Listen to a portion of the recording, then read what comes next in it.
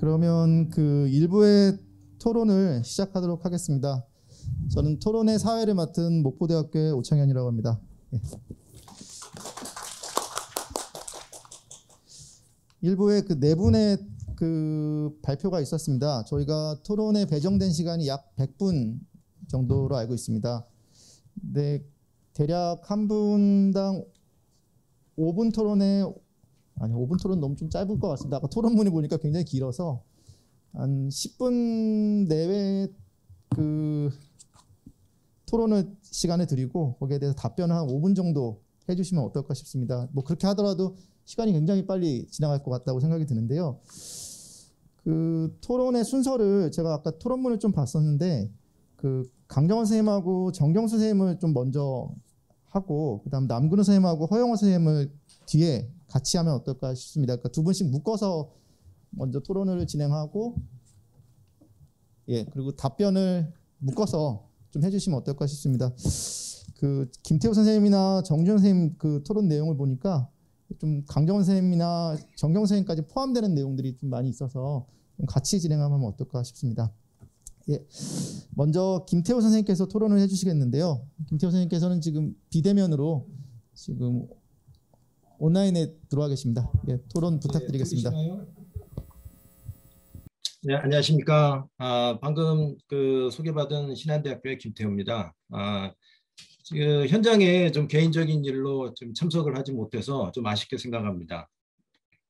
일단 그 제가 맡은 부분은 그 어, 강정원 선생님의 조선민속학회의 지속과 단절 자료 수집을 중심으로라는 어, 발표에 대한 이제 토론문입니다. 그럼 준비된 토론문을 읽으면서 어, 그 토론을 하도록 하겠습니다. 그 주제하다시피 이제 조선 민속학회의 성격과 그다음에 민속학사적인 의의에 대해서는 최근 한 10여 년간 아주 밀도 있게 진행된 바가 있는 걸로 알고 있습니다. 그래서 저도 이 토론문을 준비하면서 그간의 어, 논의를 좀 이렇게 복귀하면서 어, 준비를 해봤습니다.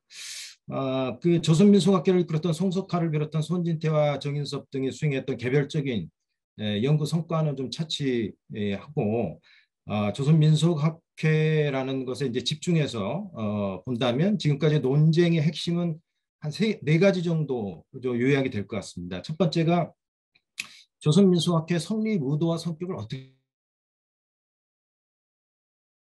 는 이제 그 일제에 대한 저항의 예, 성격을 갖는 것이다. 아, 그게 아니고 어떤 그 일제의 어, 어떤 그 식민지 정책에 부합하는 그런 하나의 좀그 어, 행위였을 것이다. 아, 그게 아니고 둘 다 이제 이분법적인 그거를 떠나서 어, 서로의 어떤 필요에 의해서 내지는 어, 뭐라고 될까요? 그 혼종성의 은항 체계 하나의 성격을 갖는 그런 것일 것이다. 뭐 이런 논의들이 좀 있었습니다. 어, 그 다음에 이제 두 번째는 조선민속학회에 이제 일본인 학자들이 참여한 어,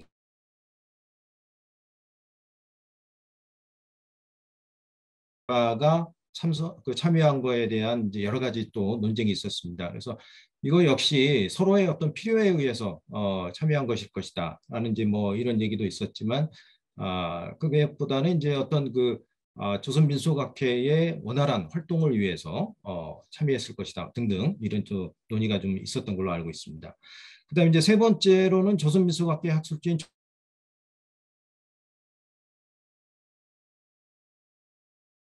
뭐 이것도 좀 논쟁이 좀 있었죠. 그래서 요거는 아무래도 이제 어, 어, 민속학회를 이끌었던 송석하의 그 행방과 좀 관련된 그런 이제 논의가 좀 있었던 것 같습니다. 그다음에 이제 마지막으로는 이제 조선민속학 3호가 일본어 전용으로 되고 그다음에 그 일본인 그 다시 말해서 아키바가 발행인으로 어, 변경된 거에 대해서 어떻게 봐야 될 것이냐.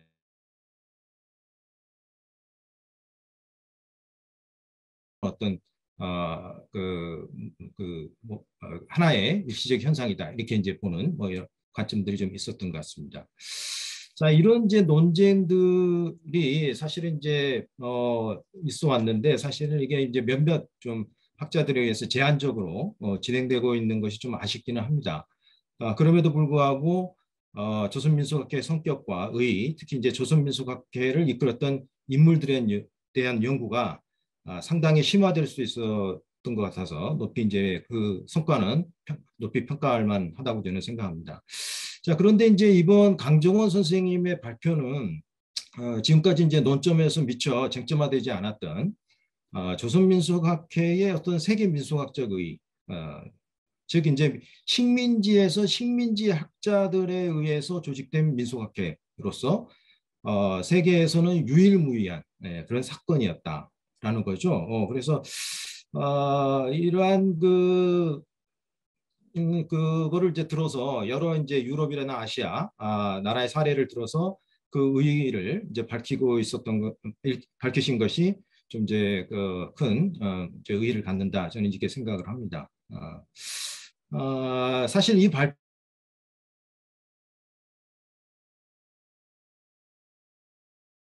하는 어떤 이제 답함의 성격이 있기는 하지만 뭐 강정호 선생님이 전부터 주장했던 세계 민속학 속에서 한국 민속학의 위치와 목표를 정립하는 것이 에, 중요하다라는 이제 생각의 연장선에서 나온 어, 발표가 아닌가 생각이 듭니다. 그 다음에 이제 또한 이 본 발표에서는 조선 민속학의 주된 목표 중에 하나가 아, 민속 문화를 수집하고 정리하는 것으로 이제 보고 이러한 목표 의식을 민속학적 정신과 열정이 발현된 것이다 이렇게 보셨죠. 이러한 지적은 이제 정경두 선생님이 이제 일찍이 조선 민속학회 새로운 분위기로서 필드를 기반으로 한 자료중심의 강조다라고 한 것과 아, 상통하는 그런 이제 논이었다고 봅니다. 아, 그런데 이제 이러한 조선 민속학회 자료 수집에 대한 목표 의식은 아, 조선 민속학회뿐만 아니라 아, 세계 민속학을 지, 지탱하는 힘이며 활동이다라고 해서 뭐 아일랜드라든지 영국, 미국, 독일, 프랑스, 어, 폴란드 등의 이제 민속학회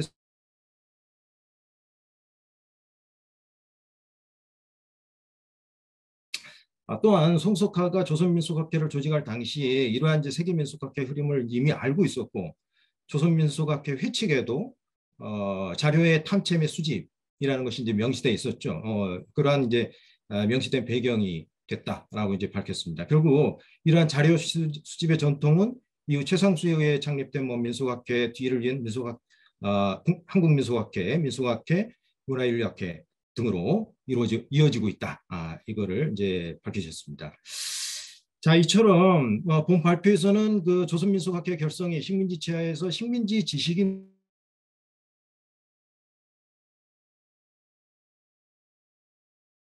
그 세계민속학회에서 공통적으로 추구하고 있었던 자료 수집의 목표를 역시 조선민속학회에서도 추구하고 있었다. 아, 이러한 그 지향은 아, 이후 이제 계속 어, 전승됐다. 이러한 그 논의를 에, 그 밝히셨습니다. 아, 그래서 이러한 논의는 결국 제가 볼 때는 일제 강점기 이제 조선민속학회의 어떤 세계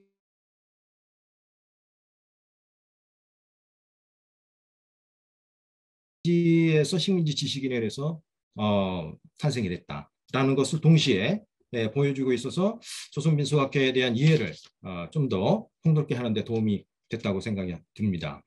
이제 다만 제가 이제 그, 음, 그 발표를 들으면서 이제 선뜻 이해가 되지 않거나 그 다음에 좀 아쉬운 부분이 있어서 어,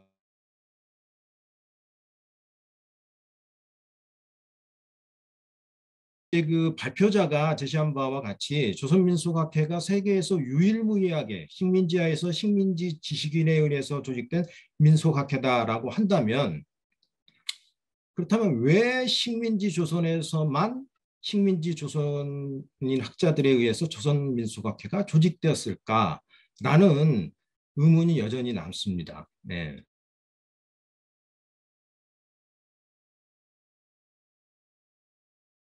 어, 다시 말해서 이제 조선민속학회가 당시에 창립될 수밖에 없었던 어, 이유로 당시 정치 경제적인 어, 배경이라든지 학계 분위기 등등에 대해서 논의한 바가 있습니다. 이거는 제가 시간 관계상 생략하겠습니다만 각주에 에, 그 어, 논의를 에, 밝혀놨습니다. 아, 이는 역시 이러한 논의가 있, 있긴 했지만 역시 토론자가 궁금한 내용, 즉 다른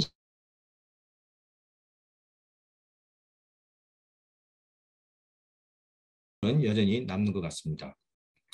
그다음에 다음으로 그 어, 발표자는 조선민속학회는 이제 중요한 목표 하나로 어, 자료 수집이라는 것을 이제 명시를 했고 이는 이제 이후에 이제 계속 전승이 됐다라고 해서 이걸 하나의 지속 요소로 본 것 같습니다.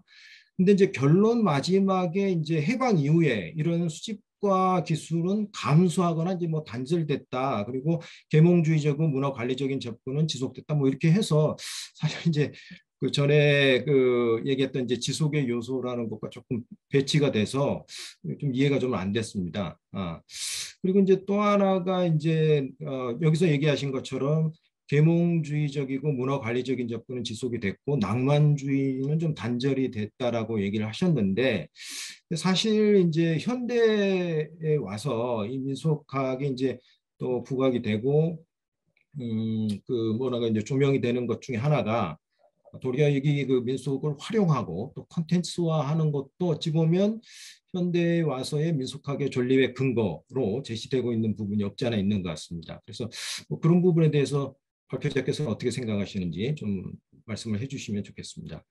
그 다음에 이제 마지막으로 보다 원론적인 문제이긴 하지만 그 발표자는 결론에서 조선민속학회가 자료 수집이라는 그 아, 뭐 민족지학으로서의 민속학을 발전시키는 목표를 이제 일정 정도 충실하게 수행한 것을 두고 저항 그 자체라기보다는 뭐 저항이라는 포괄적 단론적인 의미의 거시적 산물로 평가를 하셨어요. 그래서 좀 이렇게 포괄적으로 이제 저항이라는 것이지만 이걸 좀 포괄적으로 이렇게 보신 것 같은데 아, 역시 이런 이제 저항 담론으로 보는 데는 이론이 다소 이제 존재하는 걸로 알고 있습니다. 그래서 이 저항의 실체를 좀 보다 구체적으로 보여줄 수 있는 자료나 언술 이 어떠한 것이 있을지 좀 답변을 해주셨으면 좋겠습니다.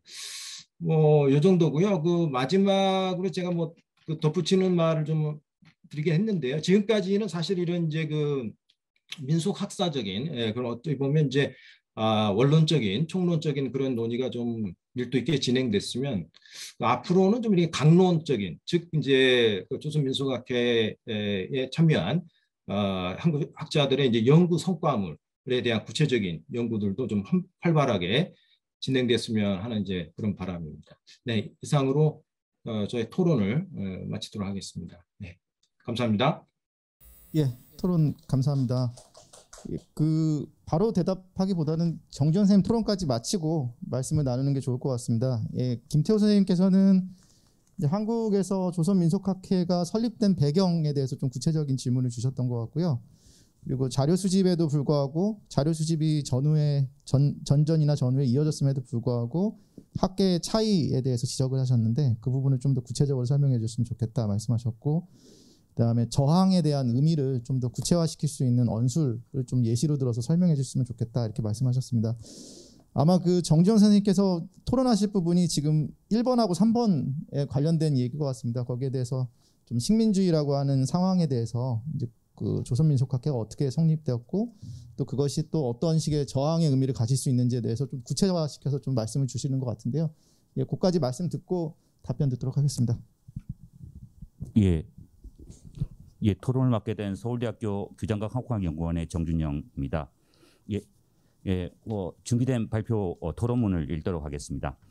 어, 민속학 90년을 기념하는 이렇게 뜻깊은 자리에 말석이나마 참여할 수 있게 해주셔서 영광입니다. 사실 이렇게 토론, 토론을 맡게 된 것은 제가 이 분야에 특별한 식견을 가지고 있거나 아니면 관련한 연구를 수행했던 실적이 있기 때문이 아니라 오늘 발표자이신 정경수 교수님과의 특별한 인연으로 여기에 선 것이기 때문에 이 자리가 더욱 과분하고 벅찹니다.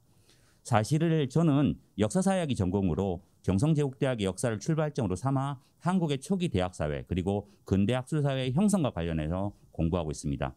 정경수, 정경수 교수님께서는 다 아시다시피 경성제대 법문학부에서 이루어진 종교학, 인류학적 작업과 관련하여 선구적인 업적을 남기셨는데요. 바쁘신 와중에서도 저희 박사 논문을 지도해 주신 바가 있으십니다. 제가 오늘 토론에 나선 것은 그 인연 때문이라고 하겠는데요.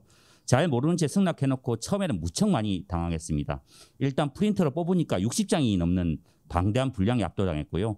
그런 분량에 무색할 정도라고 할 극강의 박학, 종횡무진으로 뻗어가는 현란한 논의에 기가 죽었습니다. 그리고는 이 논의의 배경에 도사리고 있는 엄청난 논쟁의 두께까지 뒤늦게 알게 되면서 줄곧 후회하며 울상으로 지냈습니다. 그래도 여러 번 반복해서 읽은 정경수 교수님의 발표문 말미에 있는 표현 사건은 외로이 홀로 존재할 수 없으며 90년이 지난 지금 그러한 과정을 해석하는 우리는 얽히고 설킨 가닥들이 구성해낼 수 있는 전체를 설명 대상으로 삼는 것이 바라, 바람직하다. 그렇게 그렇게 하기 위해서는 참으로 다양한 지식을 동원할 수 있는 넓은 안목이 절실히 요구된다. 이 표현에 숨은 어, 교수님의 신모 원료가 저 같은 문외한을 이 자리로 이끄신 것이 아닐까 그렇게 제 마음대로 믿으면서 일단 이 자리에 섰습니다. 저에게 할당된 시간은 교수님의 원고를 읽으면서 들었던 몇 가지 궁금증과 감상을 말씀드리며 토론을 대시할까 합니다. 높아심에서 덧붙이자면 저는 이전까지 이 주제를 다뤄본 적이 없으며 관련 사료를 직접 찾아서 읽어본 적이 없습니다. 말하자면 철저하게 이 논의에 관련해서 저는 비전문적인 독자의 자리에 서 있습니다. 그리고 발표문을 읽으면서 얻게 된 지식, 들었던 궁금증이나 의문 또한 발표문이 제시한 바의 지평 혹은 자장 속에 있을 뿐이며 이를 넘어서 옳고 그름을 다툴 수가 없습니다. 제가 토론자로서 말씀드리는 것은 그것이 옳고 그른가가 아니라 독자가 보기에 얼마만큼 납득이 되는가의 지점, 다시 말해서 핍진성의 영역을 넘어서질 못합니다. 이 점도 양해 말씀드립니다. 먼저 개인적으로 제일 흥미로웠던 것은 조선민속학회 탄생이라는 사건이 지식학술사의 차원에서 가지는 독특한 어찌 보면 전례를 찾기 쉽게 찾기 어려워 보이는 위상이었습니다. 발표문에서 정경수 선생님께서는 세계 인류학사의 관점에서 서부기를 제안하셨지만 다른 근대 학문의 지평에서 보더라도 알매 대상에 위치하며 외부적 시선을 내면하는 과정이 대체로 어, 과학적 방법에 다름없는 상황에서 원주민 지식인이 학술을 생산하는 위치에 서기는 어려웠습니다. 학술의 제도화의 과정에서도 마찬가지였습니다. 식민지 조선만 보아도 대부분의 조선인 학술단체들은 이미 제도적으로 학술적 권위를 선취하고 있었던 콜로나이저, 일본인들의 학술단체 혹은 학술활동을 염두에 두고 만들어졌으며 이에 대한 대항의식을 통해서 성장해 갑니다. 현지하는 민족적 차별 혹은 불균등은 조선인들이 학술 활동을 이어가는데 중요한 동력이 되었지만 동시에 종종 시선을 빼앗겨 그 차별과 불균형이 학술 생산 과정 그 자체에 내재할 수 있다는 사실을 놓치는 우를 범하게도 됩니다. 민족적으로 대항하는 학술이 실은 데칼코마니일 수도 있다는 것인데 이것이 지금 한국 상황에서는 학술 지식 생산 특유의 postcolonial이라는 과제를 낳게 됩니다. 그런데 조선민속학회의 탄생이라는 사건은 전경수 선생님께서 아주 잘 지적하고 계시듯이 식민지의 다른 학술에서 보이는 전형성을 벗어납니다. 식민지에서 식민지 출신의 원주민 지식인이 스스로 학술단체를 조직했을 뿐만 아니라 colonizer 지식인들의 학술단체에 대한 대응적 성격도 대응적인 성격도 현저하지 않기 않았기 때문입니다. 학문적인 커리어가 사실상 없는 독학자가 학회의 설립과 운영을 주도했고 경성제대 교수와 총독부 직원이 회원으로 참여합니다. 식민지 사회 내에서 청구학회와 진단학회와 같은 관계가 될 법도 한데 조선민족학회는 그러지 않았습니다. 학회지인 조선민속은 심지어 학술언어의 측면에서도 조선어, 일본어, 영어의 위계를 설정하지 않은 것 같습니다. 정경수 교수님께서 식민지 혼종론을 제기하시는데 그럴만하다는 생각입니다. 동상이몽, 불편한 동, 동거라는 측면도 물론 있지만 이렇게 규정하는 것으로는 놓치는 지점도 분명해 보입니다. 그리고 이런 혼종성이 가능한 것은 뭐 제 생각에는 이것도 뭐 어차피 뭐 주어진 정보에 끼어 맞춰 스스로 납득하는 것이 독자의 권리라고 해서 제가 감히 말씀드리는 거긴 합니다만 조선민속학이 가지는 독특한 성격과도 관련이 있는 것 같습니다. 제국의 학문으로서 인류학과 타자의 시선에 대한 자문화 중심주의적 대응으로서 일본 민속학 사회를 애매하게 가로지르는 조선 민속학의 자리는 송석화와 같은 독학자의 활가 활동할 여지를 가질 수 있는 제국의 예외적인 틈새였을지도 모르겠습니다. 조선 민속학은 시간의 차원에서는 지속적 지속되는 과거 즉 전통과 오지 않은 현재 즉 정체가 애매하게 중첩된 시간을 다루며 공간적 차원에서는 어떨 때는 지역으로 다른 때는 민족으로 애매하게 미끄러질 수 있는 장소를 분석하는 것으로 상상될 수 있, 있었기 있기 때문입니다. 역사학과 인류학과 사회학 사이에 어딘가에 조선 민속학의 자리는 있었고 대입학이 될 일본 민속학은 사실 일본 관학 아카데미즘의 반열에도 오르지 못한 민간학의 영역이었습니다. 확실히 혼정성이라는 사태 개념이 사태를 훨씬 더 잘 드러낸다는 생각도 해보았습니다. 다만 식민지 혼종성이 혼종론이 조선민속학회의 탄생이라는 사례를 넘어서서 식민지적 사태를 설명하는 중요한 관점, 사관이 되기 위해서는 몇 가지 추가로 설명되었으면 하는 부분은 있어 보입니다. 하나는 교수님께서 이미 제안하신 어떻게 통치자의 문화와 종속자의 문화가 문화 접근의 상황을 보였는지를 조사하는 것입니다. 대단히 중요한 지역이라고 생각하는데요. 지금까지 연구에서는 의외로 빠진 부분도 어, 상기시킵니다. 접근의 양방향성의 문제가 그것입니다. 식민지의 혼종의 상황이라면 아키바나 아까 이마무라 또는 일본 민속학이나 아, 아, 아카데미즘의 동향이 송석화 등 일본 조선인 지식인들에게 어떤 영향을 미쳤느냐만큼이나 아키바나 이마무라 같은 일본인 연구자들에게 조선 민속학의 탄생 송, 송석과 손진태 등 새로운 조선 민속학자의 연구가 어떤 민- 영향을 미쳤을까라는 질문들. 심지어 일본 본토의 민속학의 흐름과도 일정하게 궤를 달리하는 크레올화가 혹시 진행되지 않았는가 하는 문제도 중요해지는데요. 아쉽게도 발표문에서는 이런 측면들이 많이 부각되지는 않았던 것 같습니다. 여기에 대한 부연 설명을 부탁드리겠습니다. 다음으로 이것은 혼종성이 이, 혼종성에 주목하는 postcolonial 이론을 접할 때마다 제가 개인적으로 가졌던 궁금증인데요. 결과로서 나타나는 식민지 혼종성의 효과 그것이 식민지 행위자들 그리고 그들이 수행하는 문화적 실천에 미치는 영향은 의심할 여지가 없이 크다고 생각합니다만 이것은 어디까지나 이를 사후적으로 분석하는 분석가의 시점에 한정된 것으로 정작 혼종성이 발생하는 시점에 실천으로 참여하는 colonial agency들이 행위자의 차원에서 혼종을 염두에 두고 움직이는 것은 아닐 것이라는 점입니다.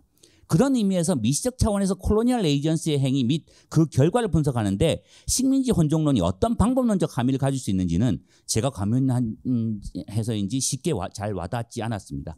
관련해서 추가적인 어, 설명을 또 부탁드리겠습니다. 향토무용 민요대회라는 또 다른 사건의 설명과 관련돼서는 체계적 사고를 강조하시고 제국 체계, 문화 체계, 전쟁 체계라는 세 축에서 사건이 가진 의미를 분석하는 부분이 대단히 인상적이면서도 또 제가 공부한 사회학 쪽의 체계 이론과는 비슷한 듯 다른 측면도 있는 듯 해서 읽으면서 많이 어려워했던 것 같습니다. 확실히 사건을 고립적으로 파악하는 대신에 그 사건에 관여하는 여러 요소들의 상호 연결을 전체적으로 파악하는 것은 특히나 사료적 차원에서 한계가 적지 않은 사건들을 설명하는데 크게 도움이 될 것 같습니다. 하지만 동시에 이 체계의 범위라는 걸또 어떻게 설정해야 할까? 분석이 틀이 되는 분석의 틀이 되는 제국 체계, 문화 체계, 전쟁 체계의 사이에는 서로 어떠한 체계적 관계를 가지는가 등 저같이 인류학적 개념에 정치하지 못한 독자 입장에서는 이러저러한 궁금증도 생기지 않을까 생각합니다. 관련해서도 좀 부연 설명을 부탁드리겠습니다.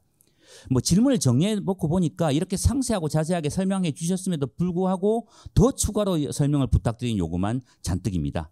제기하고 계신 여러 개념들 하청 제국주의라든가 은항 책이라든가 어, 어사관으로 시작하는 조선학 등은 대단히 도전적이고 영감을 주는 개념들이라고 개념들이기 때문에 향후 인용해서 사용해 보고 싶습니다.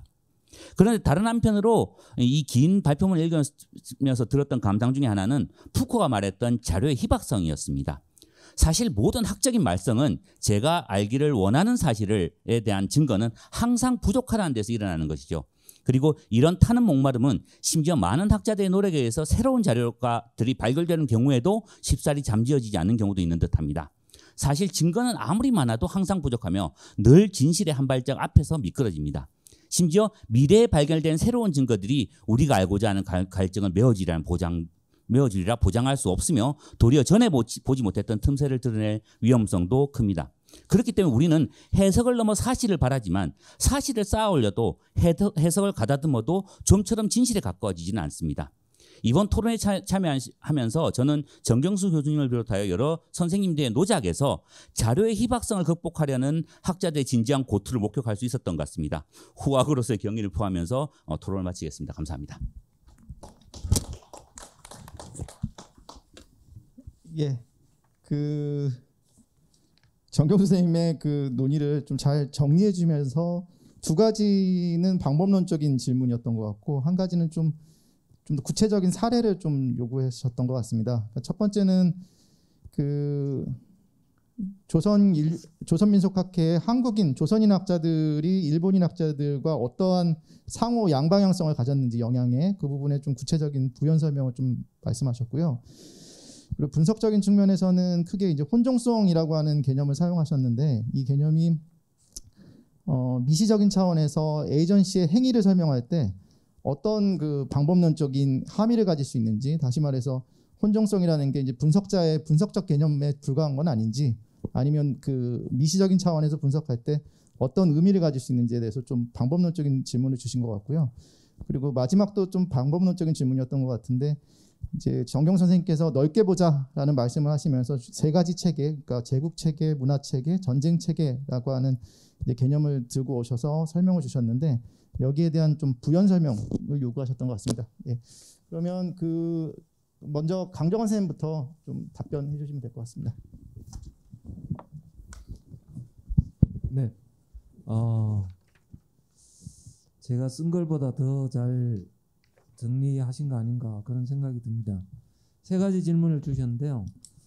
질문이 에, 구체적으로 답변 드릴 부분들이 사실 생각 많지 않은 것 같습니다. 세 번째 질문에 대해서는 사실 저는 뭐 여기 이제 우리 저보다는 선배로서 이 분야에 대한 어, 여러 논문을 쓰신 남건우 선생님이나 뭐 등등 실증적으로 여러 얘기를 해주셨지만 전 사실 그런 부분에 크게 관심이 없습니다. 관심이 없어서 난 뭐 송석하 선생이 저항을 저는 포괄적으로 했다고 봅니다.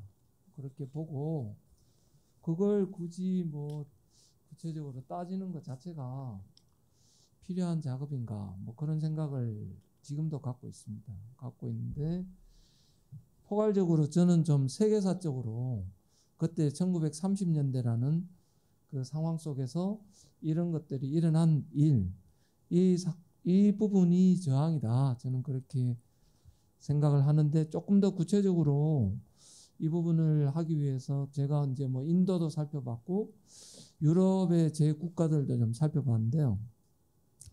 제가 조금 더 고민해야 될 점은 그런 게 있는 것 같습니다. 가령 어, 폴란드나 뭐 아니면 아일랜드나 영국에 대응해서 아일랜드 같은데 민속학회가 아일랜드 민속학회로 이제 정립이 되는데요. 영국은 그렇지 않습니다. 영국은 그냥 포클로 소사이티입니다. 포클로고 일반 민속에 대한 연구를 한다고 자기들은 주장을 해요. 한데 아일랜드는 그렇지 않습니다. 아일랜드로 지리적 범위를 한정해 놓고 있는데 근데 조선 민속학회는 그러지 않았습니다. 민속학 자료 이렇게 이제 그 명시를 하고 있어서 이런 부분 가지고서 조금 더 구체적인 고민을 해볼 수 있지 않나 그렇게 생각이 됩니다. 앞으로 어, 발- 이걸 논문으로 발전시킬 때 고민을 해보겠습니다. 그 다음 두 번째 질문은 제가 이제 이건 고민했던 부분인데요. 한국의 문화연구 그러니까 독일은 지금 민속학회가 경험문화학회로 이름을 바꿨습니다. 바꿨는데 그쪽에서도 그렇지만 민속지적 작업에 대한 평가가 여전히 지속되는 경우도 있고 그렇지 않은 경우도 있는데 한국 민속학계나 인류학계 전반적으로 민속지적 작업에 대한 어떤 평가가 내부적으로도 감소하고 있다. 낮추고 그렇게 높이 평가하고 있지 않은데 그런 그 성격이 계몽주의적이고 문화관리주의 적이다라는 게 제 생각이고요. 제가 이제 노블 세비지 이런 표현을 썼는데 그런 식으로 한국 학계가 한국인들의 민속 문화를 아니면 한국인 민중들을 노블하게 고귀하게 바라보는 그러한 관점이 해방 후에는 상당한 정도로 부족했다. 그 이전에 조선 민속학계에는 그 두 가지가 있었다. 이게 제 주장입니다. 그리고 그 위쪽에 식민지 조선에서만 왜 일어났는가? 글쎄 말입니다. 이 부분은 제가 답을 하기가 저 고민을 해보겠습니다. 저도 그래서 좀 좋은 질문에 대해서 답이 공한 거 아닌가 싶긴 한데요. 이상으로 답을 변을 마치도록 하겠습니다. 그 바로 정경 선생님 답변도 예. 요청하겠습니다. 예, 고맙습니다. 예. 제가 일단은 뭐 한수 한수가 아니라 한 서너 수 많이 배웠습니다. 좀 생각 못했던 부분도 있고 생각을 했는데 에, 못 따라간 부분도 있고 그렇습니다. 먼저 그 creolization 말씀을 하셨는데 그 문제가 마지막으로 제기하신 그 아, 이 자료가 부족하다 뭐 이것과 연관이 되는 겁니다.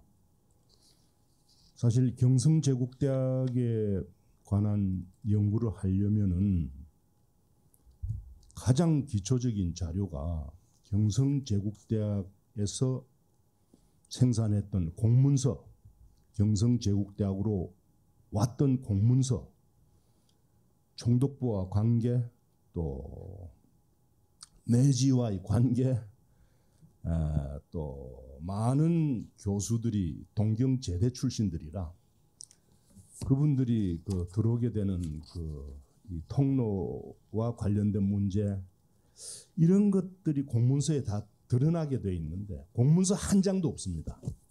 아, 다 불태워 버리고 없, 없습니다. 또 필요한 자료들이 이 성대 내에서 발행했던 일종의 대학 신문인데 성대 학보 그러니까 경성하는 성자 쓰고 그 성대 학보라는 그 신문이 있어야 되는데 그것도 상당량이 발간이 됐는데 제가 구했던 두 건밖에 현재 본 적이 없습니다. 그 두 건도 일본의 마츠모도 나가노 나가노의 마츠모도에서 아, 경성제대 과거 그 근무했던 분의 부인으로부터 얻어서 지금 서울대학 기록관에 기증한 겁니다.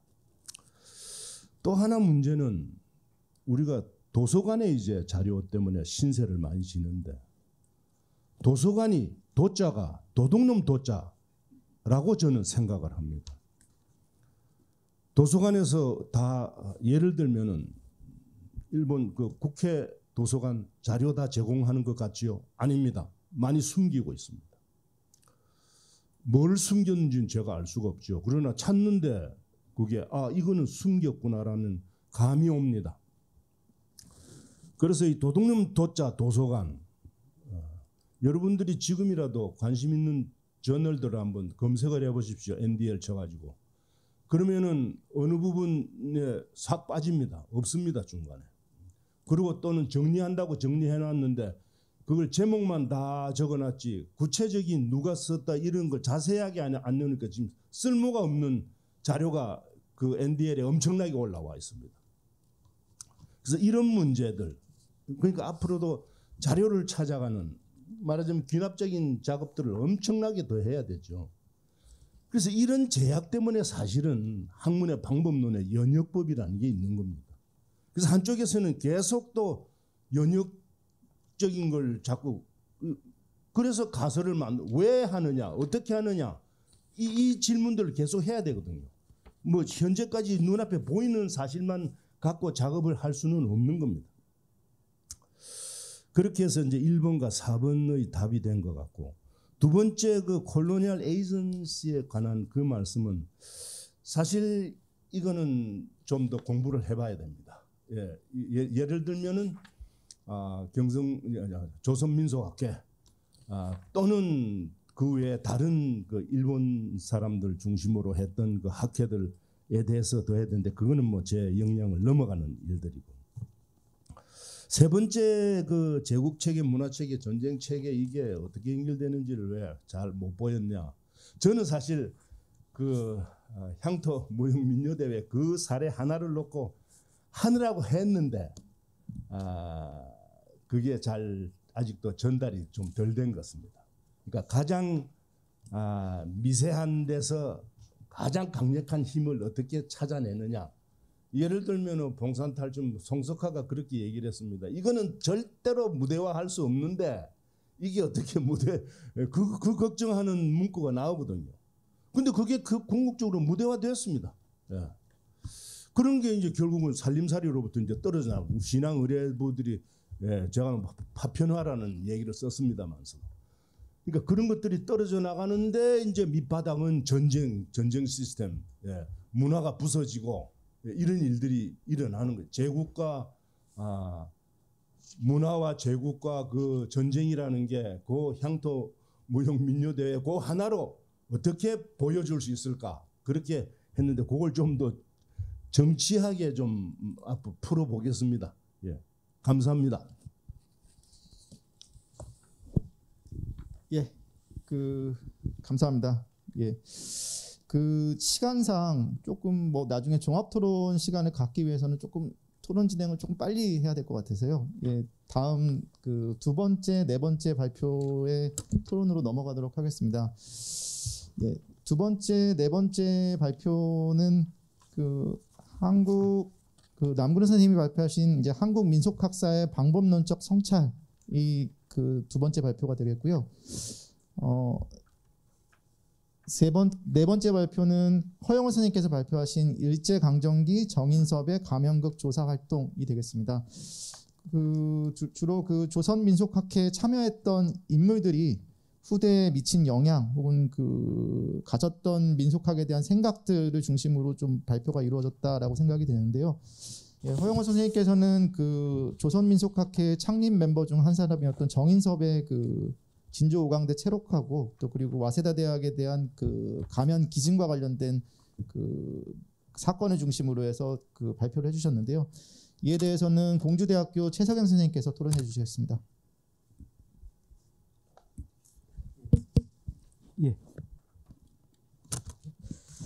예, 방금 소개받은 어, 최수경입니다.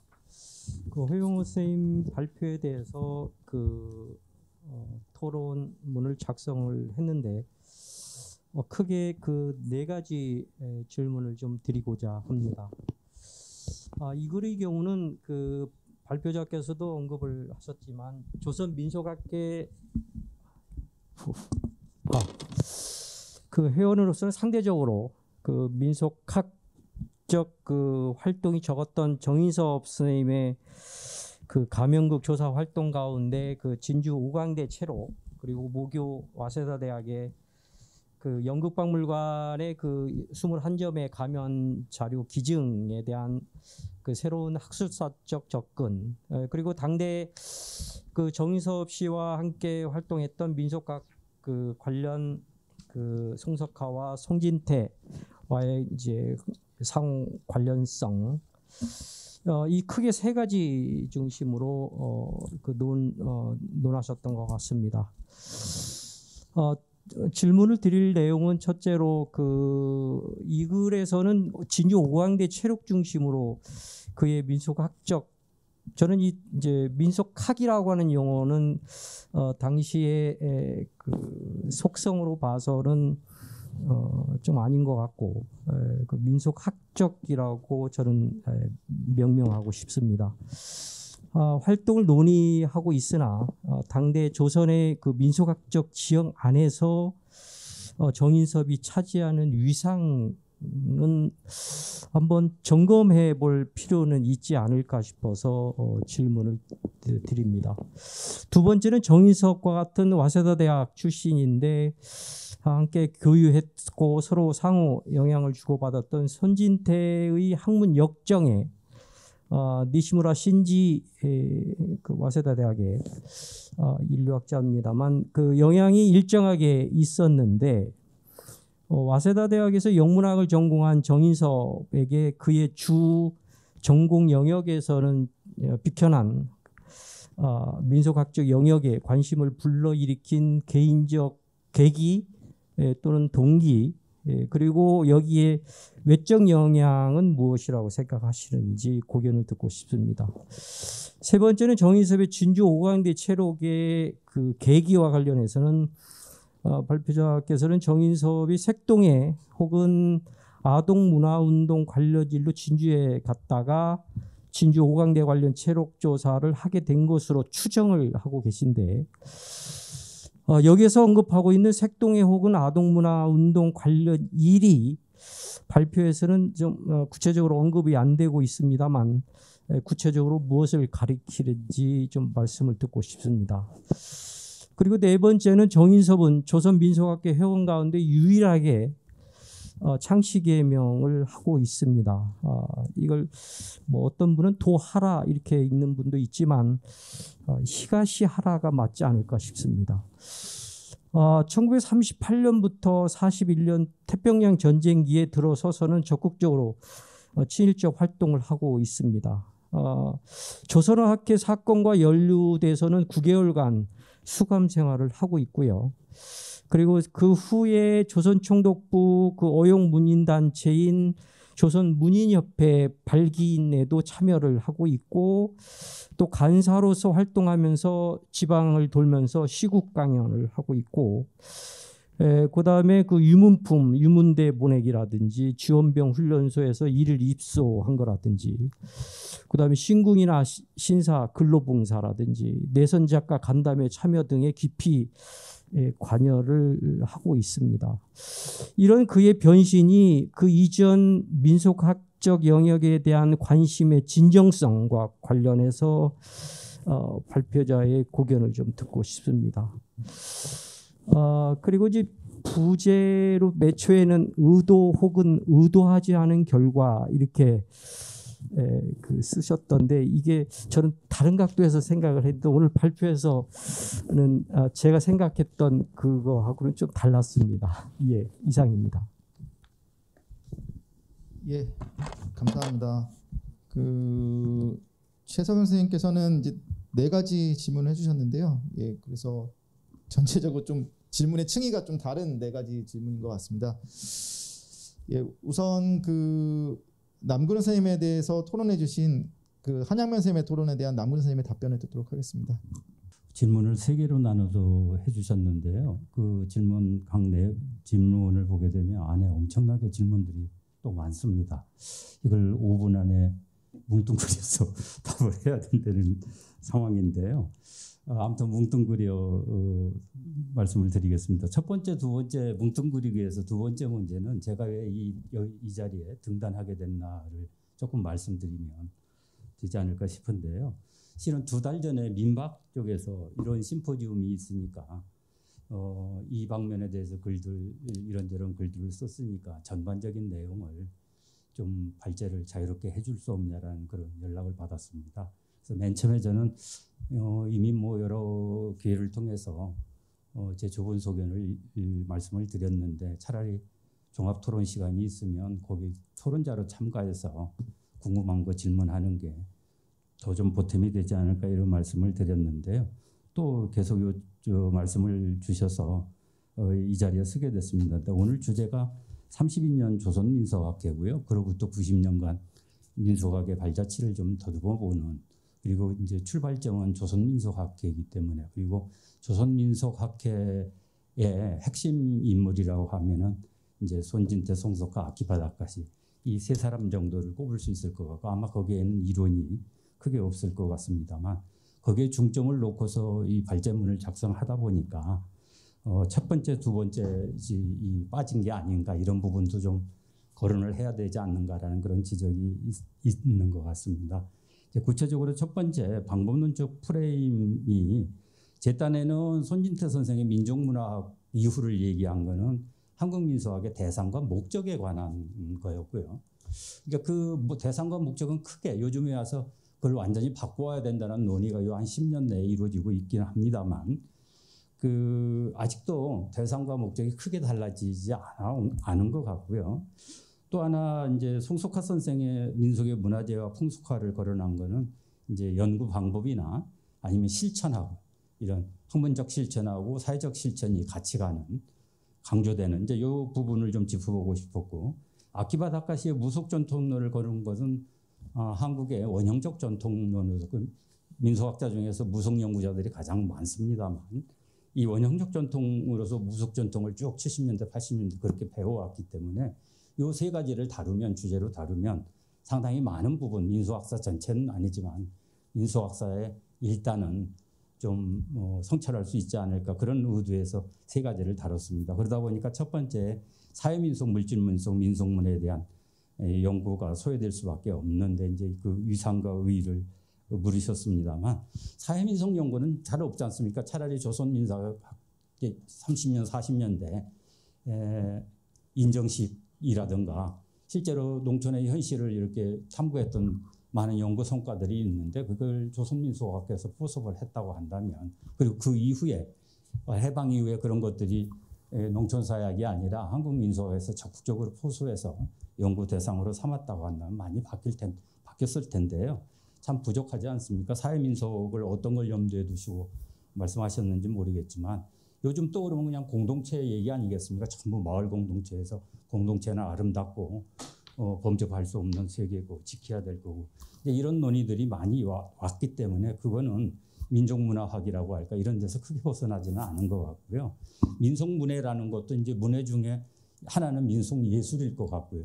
이제 민속예술도 어, 송석화 선생이라든가 손진태 이런 민족문화학에서 크게 벗어나는 건 아닐 것 같습니다. 물질 민속은 이 민박의 살림살이 조사 연구 어, 2005년 정도 시작이 됐나요? 그게 하나의 획기를 마련할 텐데 자료를 많이 수집 박물관의 특징은 있겠습니다만 그걸 어떤 새로운 연구로 예, 물질문화 요건대 인간 너머의 예, 인문지리학이라든가 어, 비인간적 행위성에 관한 관심들이 많아지고 있지 않습니까? 요즘에 유행하고 있는 정동이라는 개념도 그런 것 같은데요. 그런 부분으로 어떻게 연결이 될까 이제 그런 문제일 것 같습니다. 두 번째 문제 다양한 연구자들이 훌륭한 분들 다 여기 계신 것 같은데요. 어, 제가 다 거론할 수가 없었습니다. 그리고 실은 저는 한국 민속학사 연구를 10년간 작업을 지금 하고 있고 2년 차, 3년 차에 접어들고 있습니다만 어, 기회가 닿으면 열심히 조사해서 이 부분들을 전부 포섭해서 나름의 민속학사를 제시할 수 있도록 어, 노력을 하겠습니다.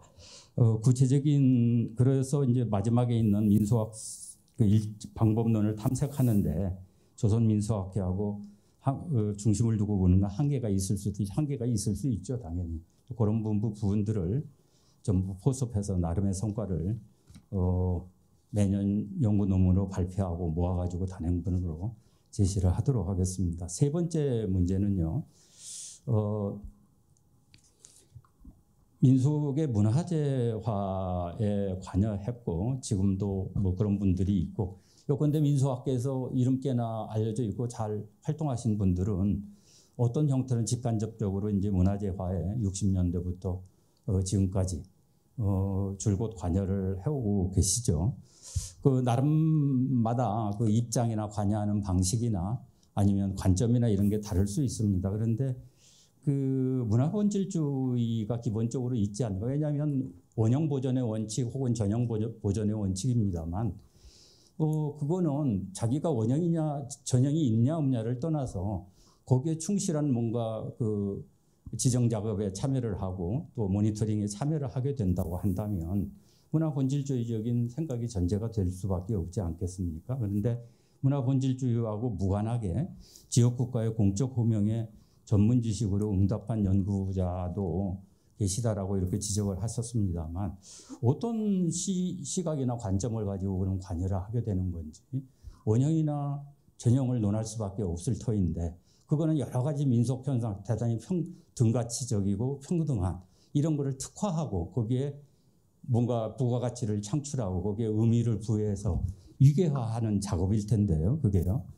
이게 민속학의 원점에서 보게 되면 조금 어긋나는 게 아닌가라는 저는 개인적인 생각을 가지고 있습니다. 그래서 실제로 여기 참가하면서 문화본질주의하고 무관하게 어, 응답하는 어, 이런 연구자가 과연 누구일까? 그리고 그런 분들은 어떤 생각으로 그 응답을 하고 있나? 이게 오히려 제가 좀 더 궁금해졌습니다. 그리고 이제 지식의 사회적 관원이라는 건 다양한 층위에 한원이 있을 것 같아요. 이거는 많은 논쟁거리고 학회에서 민수학자대에서도 여러 번 논의가 됐던 것 같은데 앞으로 더 본격적으로 논의를 해야 될 것 같아요. 그러니까 어디에 무게중심을 둘 건지 위쪽에 위에서 밑으로 내려오는 구조적인 요건대 관이라든가 정책 쪽에 에, 관점을 무게중심을 놓고 바라볼 것인지 아니면 우리 민 좋아합니다만 이 민 쪽에 땅바닥에 에, 관점을 두고서 같은 눈높이에서 뭔가 그 위에서 내려오는 구조적인 힘과 밑에서 치받치는 이런 힘이 아까 그 접, 문화 접변 얘기가 나왔습니다만 그런 것들이 어떻게 살아있는 생활자들이 다양한 전략 전술을 생활의 전략 전술을 사용하면서 그런 것들을 활용하고 비틀어서 제 것으로 만드는 거죠. 오히려 그쪽에 생활자 쪽에 관점을 두는 게 저는 개인적으로는 어, 지식의 사회적 환원이라고 할까 그쪽에 오히려 우리가 에, 원래 민소하게 가야 될 길은 거기에 있는 게 아닌가라는 생각이 들었습니다. 그래서 이 문제도 대단히 관점과 처지에 따라서 층위에 따라서 다양한 논의가 가능할 텐데요. 이거를 좀 본격적으로 좀 논의를 해봤으면 어, 어느 학회군 간에 이걸 주제로 삼아서 논의해 보면 어떨까 이런 생각이 듭니다. 그, 그 다음에 대다수의 민속학자가 내실하는 민속을 다시 글로벌한 문화유산으로 업그레이드 앞장서고 있다. 이제 이런 이게 좀 한 선생님께서는 불편하셨던 것 같습니다만, 어, 인류 문화유산은 2년에 하나 정도 등재될까 말까 하기 때문에 실제적으로는 여기에 관여하는 빈도나 뭐 정도를 보게 되면 그렇게 많지 않, 않, 않겠습니다만 실제로 지금도 민속을 문화재화하는 과정은 전국적으로 지금 왕성하게 이루어지고 활용의 방점이 찍히다 보니까 어, 이루어지고 있고 거기에 민속학도 요즘에 와서는 인류학, 역사학, 문학 할 것 없이 많은 분들이 관여를 하고 계십니다. 어, 그런데 구조적으로 보게 되면 그거를 다시 문화재를 문화유산으로 유네스코의 문화유산으로 만드는 거나 민속을 특화시켜서 문화재로 만드는 거나 구조적으로는 좀 큰 차이는 없을 것 같고요. 한국 민속학이 이제 업그레이드 시키는데 앞장섰다고 했지 다수의 민속학자가 에, 그렇다고는 제가 각주에서 쓰지 않은 것 같은데 이렇게 읽혔던 것 같습니다. 어, 그리고 또 하나 인류학을 비롯한 관련 학문의 연구자들 역시 어, 이 부분에 참여하고 있는데요. 특히 유네스코는 가게 되면 NGO로 참가를 하건 아니면 음, 국가의 제안서를 신청서를 작성하건 영어로 작성해야 되다 보니까 어, 영어가 좀 나은 인류학자들이 많이 관여하고 있는 것 같아요. 근데 이제 그분들의 하는 작업을 보게 되면 소속은 인류학인데 실은 제 눈에는 민속하고 아무런 차이가 없지 않는가 이런 생각이 듭니다. 전경구 선생님께서는 그 송석화 손진태 말씀하시면서 인류학자였다 인류학의 방점을 두고 말씀을 하시는 것 같은데 실은 민속하고 하등 다를 게 없나 이제 이런 생각이 듭니다. 어, 요 정도로 좀 말씀을 드리고 싶습니다. 그리고 나중에 또 강정원 선생님이 아까 말씀이나 이런 데에 대해서는 다른 또 발언 기회가 있지 않을까 싶어서 이 정도로 마치겠습니다. 예, 감사합니다. 예, 그 세 개의 질문에 대해서 첫 번째, 두 번째는 앞으로 연구 과제로 두셨다라고 생각됩니다. 그래서 지금 연구하시거나 아니면 연구 과제로 두고 있다는 말씀을 주셨고요. 세 번째 부분에서는 뭐 문화유산화라고 하는 것의 뭐 본질적인 측면에 대해서 좀 많이 지적하셨던 것 같습니다. 예, 그럼 다음 토론으로 넘어가도록 하겠습니다. 그 다음 토론은 그 일제강점기 정인섭의 가명극 조사에 대한 그 허영원 선생님에 대해서 토론해 주신 최석영 선생님에 대해서 허영원 선생님께서 답변 주시겠습니다. 예. 갑자기 5분 헷갈렸어요. 5분이죠. 예, 예, 5분 네. 정도. 그 차례차례 답을 해보자면 이제 첫 번째 질문은 당대 조선민속학 지형에서 이제 정유섭 선생의 위상은 어, 어, 떠한가 그쪽으로 이제 연구가 진행됐으면 좋겠다라는 질문으로 저는 받아들였습니다.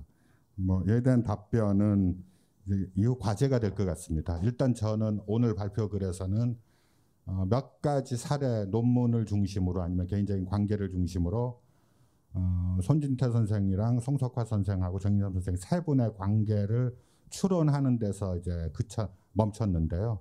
아마 좀 더 연구가 진행된 이후에 아마 이 논의까지 갈 수 있지 않을까 생각을 합니다.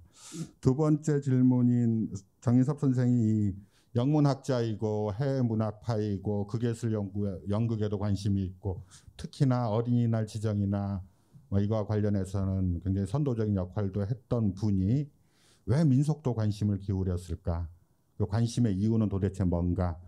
어, 대- 내외에 영향을 준 사람들은 어떤 게 있을까인데 역시 추론인데 1966년에 정인섭 선생님이 그 고려대 민족문화연구에서 회고를 하신 회고 글을 발표한 적이 있는데 뭐 어느 학자나 그렇듯이 어렸을 때 이 분위기가 그랬다. 내 고향 분위기가 이랬고 어렸을 때 어머님께 들은 얘기, 누님한 테 들은 얘기들이 이래서 내 분위기를 형성시키지 않았을까. 그래서 그 옛날 이야기 수집을 시작했고 그걸 뭐 발표했다라는 언급이 있어서 그걸 통해서 추정을 할 수 있을 것 같고요. 특이한 거는 이번 연구를 통해서 확인을 했는데요. 그 와세다 영문 저 영문학과를 이제 다녔는데 거기에 있는 스승 그러니까 히나츠 코우노스케라는 분이 있는데 이분이 일본에서 천일야화를 번역한 사람입니다. 그러니까 온돌야화, 천일야화 뭔가 있고 온돌야화 서문에 보면은 이분이 서문을 써줍니다. 써주고 아쉬운 점 몇 가지를 얘기하는데 온돌야화의 그 제보자, 제보 시기, 제보 문맥들의 언급들이 전혀 없다. 그것 좀 보완했으면 좋겠다라는 식의 추천사 겸 지적질을 합니다. 그런데 이에 대해서 정인섭 선생님은 끊임없이 해보려고 했지만은 여러 가지 문제로 온돌야화 1927년 판에서는 그걸 못했다라고 얘기하는데 나중에 1952년 영문으로 나왔던 그 영국에서 발행을 했던 온돌야화 재판에서는 그 작업들이 이루어집니다. 누구로부터 언제 언제 이렇게 저렇게 했는지 해서 제가 진조 오광대 그 체록 체록본의 그 끝에 북 병기가 된 그러니까 몇년 몇 월 며칠 어느 장소에서 누구한테라는 게 아주 특이하게 체록본으로서는 특이하게 나왔던 이유가 바로 전해 온돌야화 최종 마무리 작업을 하면서 가슴 마음속에 한 번 남아 있던 그 그런 작업들. 그걸 이제 스승님은 그 히나츠 코우노스키 같은 경우에는 문헌 자료서 자료로서의 확정성을 위해서 그 문맥들을 쫙 적어줘야 된다. 그런데 못해서 정말 아쉽다라는 언급이 있는데 아마 걸 염두에 둔 병기가 아니었을까 저는 생각을 하고 있습니다. 그리고 세 번째 질문은 진주에서 아동문화 운동 관련 일이 구체적으로 뭔가 저도 알고 싶습니다. 그러니까 아까 자료의 희소성 얘기했는데 본의 아니게 이번 연구를 하면서 막 아동 문학 관련 논문들도 마구 찾아보고 여기도 자료들도 만만치 않고 그래서 겨우 현재 찾아낸 게 아까 강영호라는 인물 그 다음에 진주 문화운동 일제강점기 때 그 특히 감영극 연의를 했던 사람들이 의외로 그 어린이 운동, 소년 운동하고 깊은 관련을 맺고 있어서 그걸 알아 알게 돼서 아마 이와 관련된 일이 아닐까 정도로 추정을 하고 있습니다. 그 참고로 그 정희섭 선생은 이제 극예술 연구에 활동도 했는데 그 속에서 관련 논문을 보면 어떤 논문이 있냐면은 그저께 제가 발견을 했는데요. 어, 대주, 아, 우리나라 근대극이 너무 인기가 없다. 그래서 근대극을 함에 있어서 특히나 학생극이나 민중극을 함에 있어서 가명극의 야외극적 속성, 또 가명극이 갖고 있는 그 그로테스크한 속성들 이러한 것들을 적극 살려서 근대 연극, 특히 학생극이나 민중극의 대중화를 이루어야 된다 라는 식의 주장을 1932년에 합니다. 이걸 놓고 보면은 두 가지가 나타나는데 가명극에서의 이러한 특징들을 적어도 논문상 맨 처음 언급한 사람은 아키바하고 무라야마 지진입니다. 봉산 탈춤하고 산대놀이를 보면서 이런 야외극이나 그로테스크한 미에 대해서 언급을 했는데 해서 논문으로는 발표되지 않았지만 이런 식으로 정인섭한테 어, 주고받은 영향 관계들 아니면 상호 영향의 관계들을 한번 이후에 더 따져볼 필요가 있지 않을까 그런 생각을 했습니다. 네 번째는 그 정인섭 변신과 이전 민속 활동가의 관계인데 그러니까 정희섭 선생님은 논쟁의 여지가 논란의 여지가 없습니다. 그러니까 1938년 이후에 뭐 완벽하게 친일 활동들을 시작했고 이른바 삼관왕을 했습니다. 그러니까 뭐 그 역사학회 쪽, 그다음 서울대 쪽, 연세대 쪽에서 뭐 친일 활동가 발표 때 뭐 빠짐없이 들어간 그럴 정도로 논란이 여지가 없는데 문제는 38년 이후의 상, 정, 정희섭 선생님의 양상을 급발진이라고 보는 건지 변화라고 볼지 아니면은 그 이전부터 그럴 소지가 있었다라고 보는 건지 그 정도 차이만 있을 뿐이지 저 선생 저 정희섭 선생의 친일 활동에 대해서는 논란의 여지가 없는 것 같고 해서 아마 그 방면에 대한 질문인 것 같습니다. 그런데 저는 이제 망설이고 있습니다. 이게 변신일까 아니면 그러니까 변신이라고 보면은 변신인 거고 아닐 경우에는 그 진주 오강대 조사도 그렇고 그 다음에 가면 기증도 그렇고 다 친일 넓은 의미의 친일 활동을 위한 포석으로 다 보일 수도 있고 아까 선생님께서 얘기했던 또 다른 차원의 민속주의 뭐 극, 극강의 민속주의자가 아니 아니었을까라고 얘기할 수도 있을 것 같아서 그런데 현재로서는 저는 그 민속이 하나의 도구나 수단으로 활용 했을 수도 있고 그 다음에 그런데 현재의 입장에서 바라보는 저는 두 자료가 만만치 않는 의미를 갖고 있어서 도대체 이걸 어떻게 설명을 해야 될까? 그러니까 흔히 뭐 물을 뱀이 먹으면은 뭐 독이 되고 꿀이 먹으면 꿀이 된다고 도대체 자료를 보는 관점들은 당대의 문맥하, 문맥하고 독립시켜서 봐야 되나 아니면 저 연결시켜서 봐야 되나 거기에 대한 확실한 입장을 저는 적어도 정인섭 선생 연구와 관련해서는 아직 정하지 못했기 때문에 그냥 이, 이런 정도로 그 관계는 지금 이러저러 하고 이런 양상을 보이고 있다 정도로 마무리하겠습니다. 예, 이상입니다. 예, 감사합니다. 그 네 개 질문에 대해서 뭐 직접적인 답이라기보다는 이렇게 전반적인 상황에 대한 좀 설명을 주신 것 같습니다. 예. 저희가 시간을 잘 쓴 덕분에 한 플로어라든가 이제 종합 토론할 수 있는 시간이 한 22분 정도 남아 있는 것 같습니다. 예, 그래서 일단 그 어떻게 할까요? 플로어도 받고 전체적으로 예 자유롭게 뭐 질문을 주시면 좋을 것 같습니다. 질문을 제가 좀 두세 개 받아보고 그걸 합쳐서 답하는 방식으로 진행하도록 하겠습니다. 안녕하세요. 저기 그 남 여기 송속화 관련해서 남근호 선생님 발표하신 것 중에 민속의 풍속화라고 얘기를 하셨고 이 송속화가 직접 쓴 글에 민속에서 풍속으로라고 이렇게 써 있는데요. 근데 이게 1938년이잖아요. 근데 그 후속구가 일본어로 하면은 굉장히 다른 의미잖아요. 그런데 그거를 이제 한글로 송속화는 썼겠지만 이렇게 쓴 것이 그 일본하고 이렇게 interaction 하는 데 있어서 굉장히 큰 오해를 가져오거나 혹은 그 조선 민속을 굉장히 비하하는 그런 어인텐셔널한 의도하지 않은 그런 결과를 가져올 수도 있는데 이 사람이 일본 말을 몰라서 그런 거는 아닐 것 같은데 그 당시에 살았으면 어 어떤 이 풍속이란 단어를 이렇게 자유자재로 쓰고 있는 거에 대해서 일본에서 뭐라고 얘기를 하지 않았는지 혹은 다른 사람들은 뭐라고 하지 않았는지 그게 조금 궁금합니다. 예, 예, 조금 더 질문 받고 답변하는 걸로 하겠습니다. 예, 정, 정수인 선생님. 네, 오늘 발표 재밌게 잘 듣고 있습니다. 저는 정경수 선생님한테 좀 질문을 드리고 싶은데요. 그 선생님께서 지금 발표문, 오늘 발표에서는 좀 말씀을 안 하신 것 같은데, 발표문에는 그 이제 송석화나 손진태를 비롯한 그 조선 민속학의 활동을 민속학이 아니라 인류학적 관점에서 바라봐야 된다.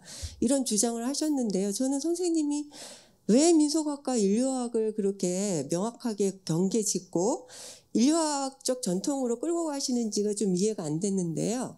오늘 정준영 선생님 말씀을 들어보니까 원주민 지식인이라는 표현이 딱 맞는 것 같거든요. 그러니까 자문화를 연구하는 사람이 누구를 향해서 그 지식의 결과들을 발신하는가라고 봤을 때 식민지 시대 때 그 제국을 향해서 자문화의 어떤 그 지식을 그 전달하는 역할을 한다는 점에서 그들을 인류학자, 그러니까 식민지 인류학자라고도 볼 수 있겠다 이런 생각이 좀 들었어요. 그래서 선생님이 인류학으로 계속 회수하시는 의도에는 그런 어떤 당시 송석화나 손진태가 가지고 있었던 지적 생산에 대한 어떤 그런 식민지적 비판 의식을 포함하고 계시는지가 좀 궁금했습니다. 그래서 그걸 좀 여쭤보고 싶습니다. 네. 예, 하- 한 질문 정도 더 받고 그 답변하도록 하겠습니다.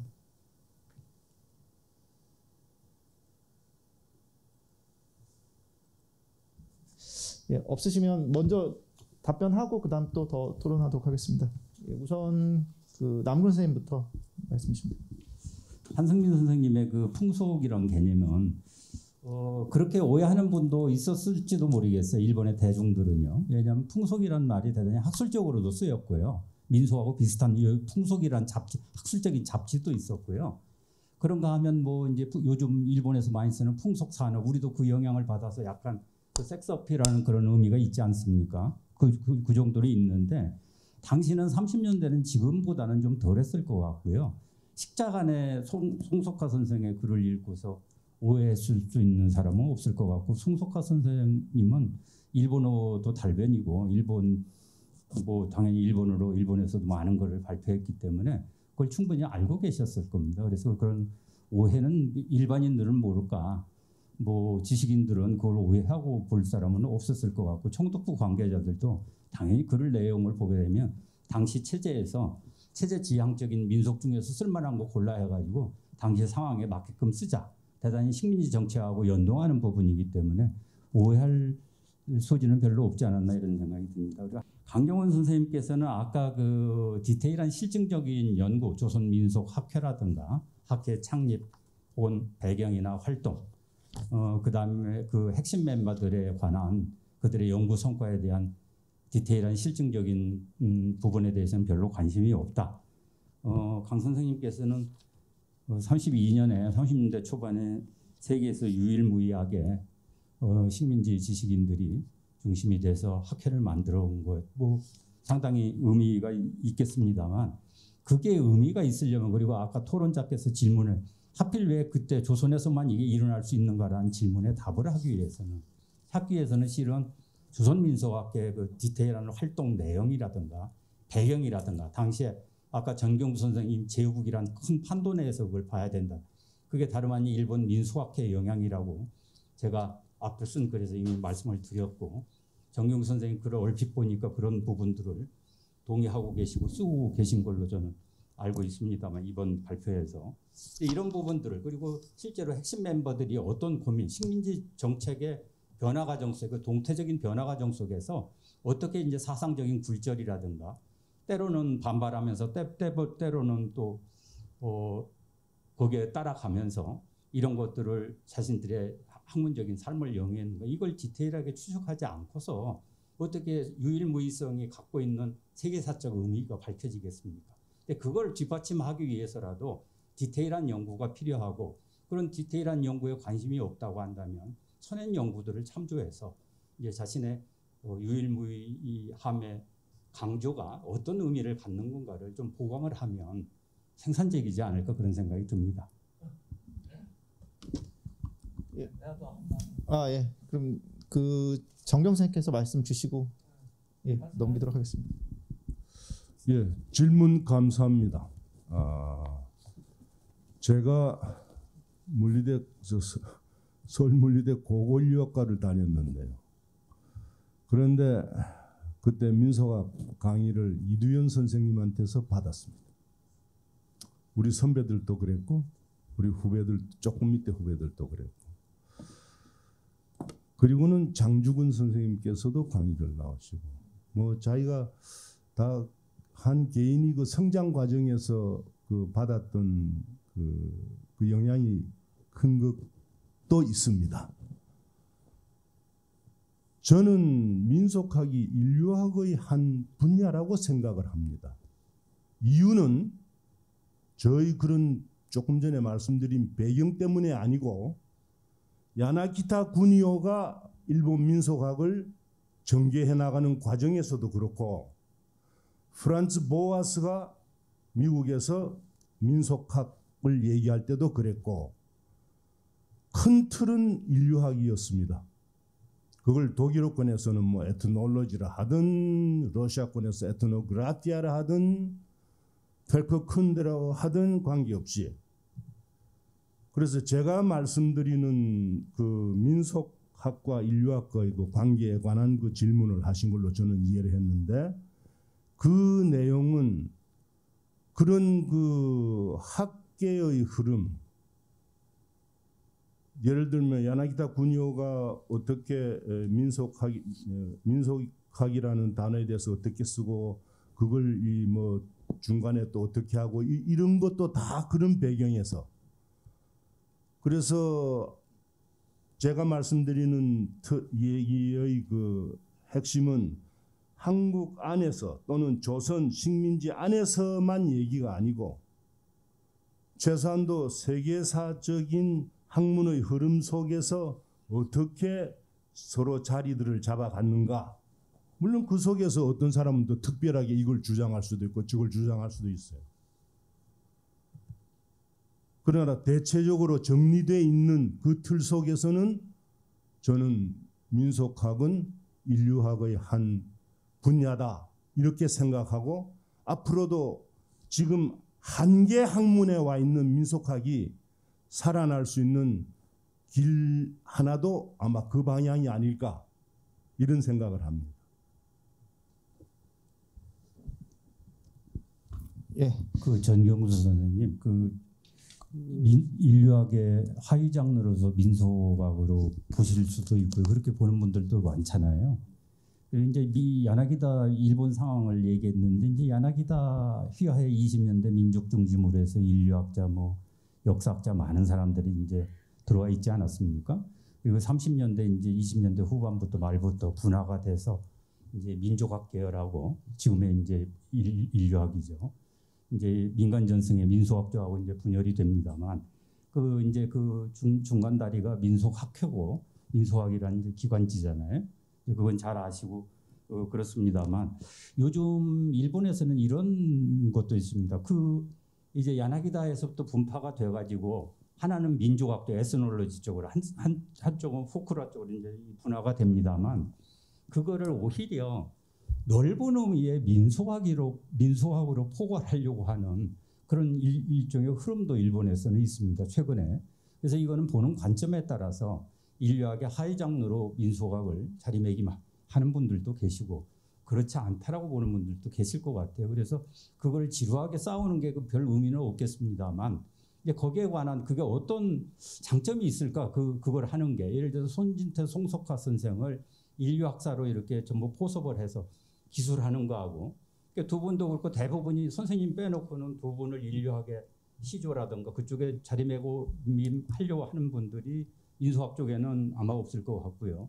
또 인류학 쪽에서도 선생님을 빼고 나면 그렇게 많지 않지 않을까 한국적인 현실에서는 이제 그런 부분이 있지 않을까 싶습니다. 네, 뭐 한국 학계 얘기를 하자면은 인류학 분야에서 지금 음, 민속학 붙들고 어 이러고 저러고 지금 논의하는 사람이 몇 사람이나 있습니까? 근데 예. 그, 그 이제 한국 인류학의 특징이라면 특징이랄 수 있지 않겠습니까? 자문화 연구를 하시는 분들이 어, 태반을 차지하고 되게 많잖아요, 실제로. 그래서 이제 물론 자문화 연구라는 게 대단히 중요해. 인류학과 민속학의 경계를 어떻게 에, 지울까에 따라서 기준 설정에 따라서 달라질 수 있겠습니다만 보는 각도에 따라서는 이제 그런 분들이 여기 오, 오 선생님도 계시고 계십니다만은 이제 인류학 쪽에 소속이 돼 있고 소속은 그렇습니다만 그 구체적인 작업 내용을 보게 되면 민수하고 인류학이 뭐 그렇게 다를까? 아, 그런 그래서 이제 그거를 인류학 안에 하위 장르로 포괄하는 게조 선생님께서는 민수학의 한계 상황이 있고 그 한계 상황을 극복하는 데 보탬이 될 거라고 이제 이렇게 말씀하시잖아요. 근데 이제 민수학자 중에서도 그렇게 생각하는 사람이 있을지도 모르겠어요. 그리고 이제 한계 상황을 어떻게 인식하느냐에 따라서도 달라질 텐데요. 그래서 많은 논의가 필요한 부분이라고 아, 생각합니다. 물론이죠. 앞으로. 예, 그러니까 그리고 이제 이- 그, 예, 그러니까 이 경계라는 게 필요 없다는 얘기예요. 좀 더 나아가면은 사회학과 경계도 필요 없고 아무 경계가 필요 없다는 얘기입니다. 제 얘기는 오늘 그쓴 글에서 제가 체계라는 얘기한 큰 이유가 그것입니다. 그 속에서 얘기가 돼야지 이 상표 하나 갖다 붙은 거 그거 상표는 얼마든지 변할 수 있습니다.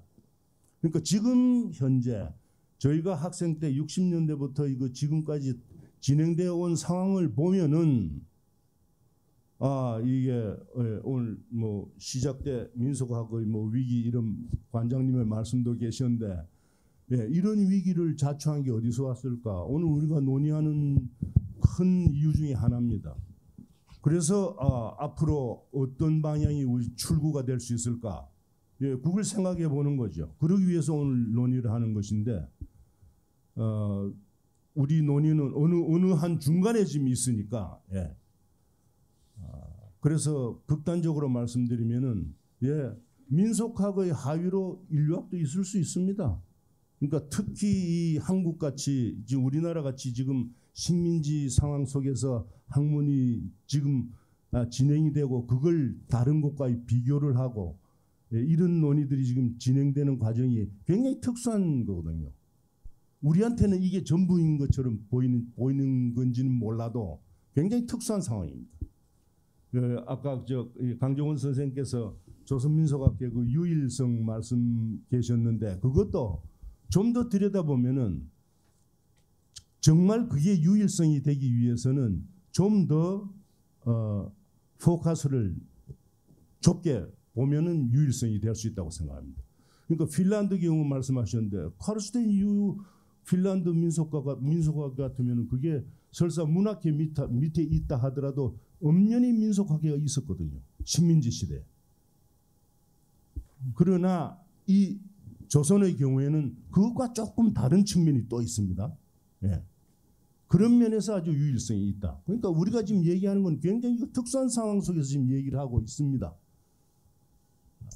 그래서 예, 아까도 그런 얘기가 나왔지만은 그 경계 가지고 뭐 이렇다 저렇다 그 사실 그 무용지물입니다. 전혀 생산적이지 못합니다. 그러나 현실적으로 야 이걸 이 상황에서 우리가 어떻게 이걸 돌파해야 될 것인가 이런 논의할 때는 또 그 문제를 생각해야 되는 거거든. 이상. 예, 그 2부가 또 있어서 지금 1부가 약간 시간이 오버되고 있습니다. 그래서 강정원 선생님께서 아까 말씀 주시는 걸로 해서 예, 마무리 짓도록 하겠습니다.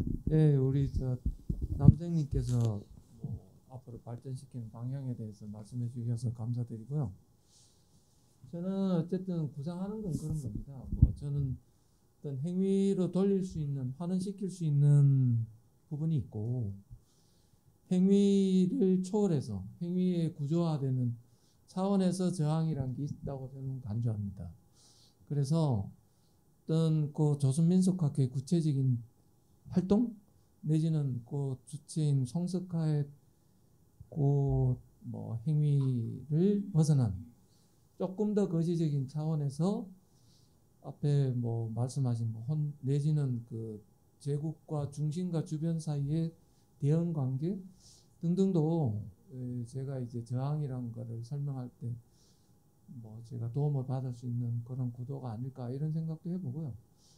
또 다른 논의들을 좀 더 끌어와서 조금 더 거시적인 차원에서 1930년대 내진 식민지 속에서 탈식민의 한 수단 뭐 내지는 탈식민이 20세기의 전 방향이라고 보는데요. 그 방향을 끌어가는 한 촉발 한 뭐 움직임 등이 한국에서 일어난 뭐 이런 것들로 해석해 볼 수 있는 여지도 있다.